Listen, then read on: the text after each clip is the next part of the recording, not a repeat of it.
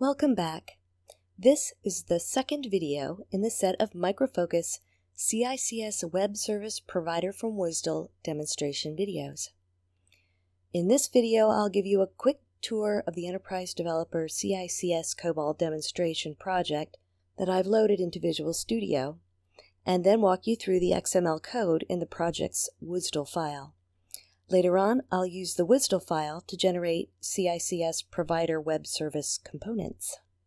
Here in the Visual Studio Solution Explorer, I've loaded a demonstration solution that contains a project named Reverse. It's named Reverse because in the end, the CICS web service that I'll generate from this project takes a text string, reverses it, and sends the reversed string as output. The solution was created using the MicroFocus mainframe subsystem template, and the reverse project's properties have already been configured to generate CICS COBOL to run on an enterprise server region on a Windows platform. I'll show you some highlights of the defined configuration by pulling up the project properties. Here in the Solution Explorer, I'll double-click Properties under the Reverse project. Traditionally, CICS COBOL code would use the EBCDIC character set, but in this case, since Enterprise Server will be running the web service on the Windows platform, the character set is set to ASCII. The provider application needs to be generated using CICS COBOL, so the exec CICS box is checked. This output path sets the location of the generated application's compiled components. This demonstration project uses a specially created project subdirectory named loadlib, specified here. It's not strictly required for CICS, but I've decided to use this simplified output path because I find it convenient. And that's it, so I'll close the Properties window. Back in the project, I'll now show you the WSDL file that is used to generate the web service. To open the WSDL file, I just expand the WSDL folder in the project and then click the file. WSDL files are written in XML as you can see here. This particular WSDL file, named reverse.wsdl, describes a web service that sends a SOAP request and receives a SOAP response from the application.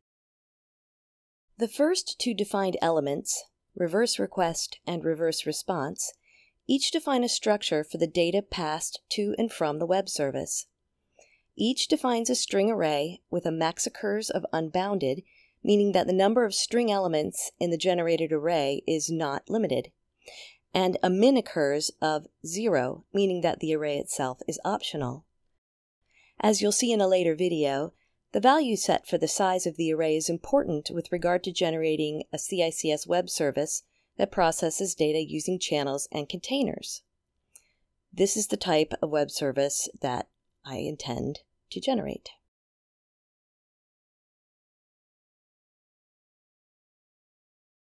These message elements each define one part or task performed by the web service.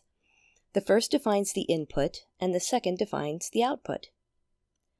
The port type element combines the two message elements into a single request and response operation named reverse request. The information in the binding section defines the structure for the mappings generated in the WS bind file for the reverse request operation. For this demo, it's also important to know what information is contained in the service section here. You can see that the name of the web service is, not surprisingly, Reverse. This is the name Enterprise Developer gives to the CICS COBOL provider application that I'll generate in the next video. Notice also the specified SOAP address. I'll use the information in this address in a later video when I configure an enterprise server region for the web service, because this is the URL where SOAP sends its requests. This first part identifies the server on which the web service is running. In this case, the server's local. This is the port number that listens for web service requests. When I configure the enterprise server region, I'll define a TCP IP service resource for the CICS web service requests and set this port to listen for them. And this final part is the path that tells Enterprise Server what application to invoke. When configuring the region, I'll install a URI map resource that defines this path and associates it with the provider application. When a request is received, CICS will match the received path to the path defined in the URI map, and then invoke the associated provider application.